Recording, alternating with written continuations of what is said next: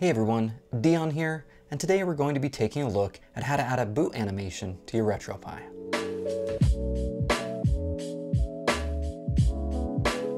Adding a boot animation is a simple way to add additional polish to your RetroPie setup. Let's go ahead and get started. First thing you'll want to do is get your RetroPie booted up.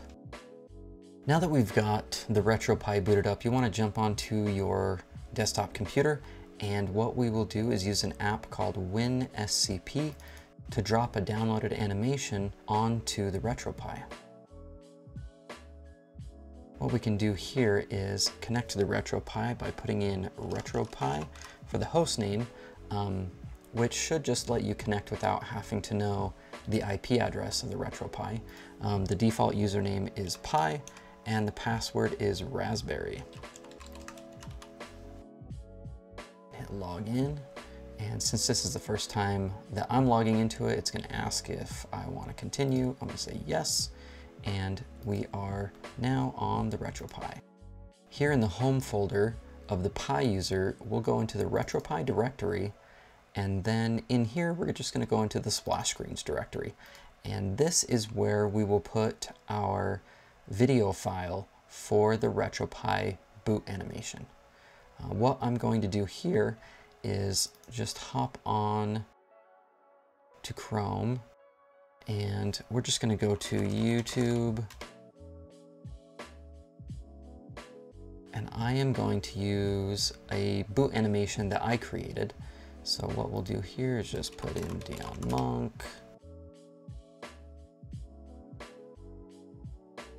If you go to playlists and RetroPie, I have a couple of different animations here. There's a simple 4x3 resolution splash screen, a 16 by 10, and a 16 by 9. 16 by 9 is probably the most common. If we click here, you can see this animation.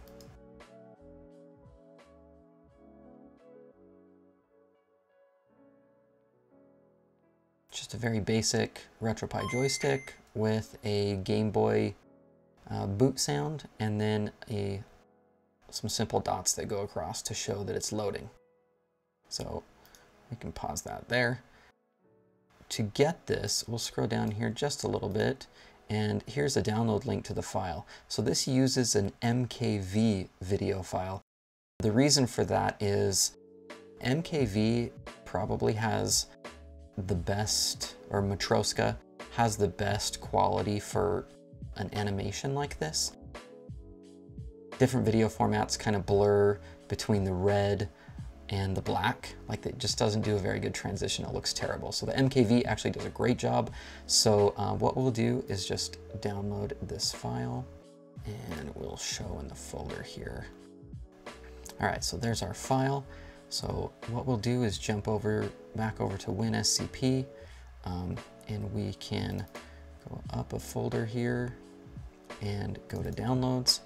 There's our um, video file. So what we can do is just drag and drop that um, and hit OK to copy that over to the RetroPie. now that that's on the RetroPie, we can go ahead and close out of WinSCP close everything down here. Now we'll jump over to the RetroPie and activate the boot animation. So now that we're here on our RetroPie, what we want to do, as you can see, I don't have anything, any ROMs installed right now, so the only option I have is to go into the configuration menu. So we'll go into configuration, go down to RetroPie setup,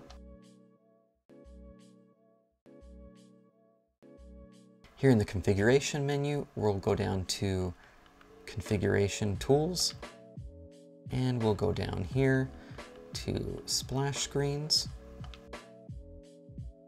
and we want to choose a splash screen and we're going to pick our own or an extra splash screen and it will automatically load the files that we've dumped or the video files that we've dumped in the splash screens folder. So we're gonna hit clean 16 by 9 Okay, okay, and that is it.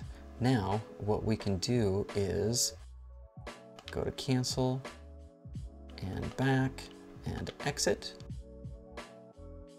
This will take us back to the menu.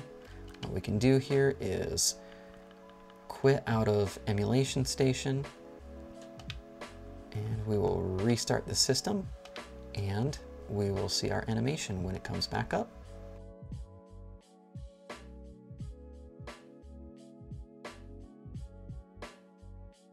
The animation here is about 30 seconds.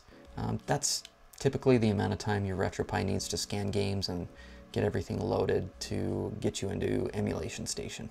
You can also use different video files or static images if you want. One thing to take into consideration is the screen that you're going to be using your RetroPie with. Try to find a video file or image that has the same aspect ratio as the screen you plan to use with your RetroPie. Adding a boot animation to your RetroPie is one step of many to really polish your RetroPie setup. Check out my other videos in my RetroPie series to learn more. Thank you guys for stopping in. If you have a suggestion for a video you'd like to see from me, make sure to leave a comment. Don't forget to like and subscribe, and we'll see you next time.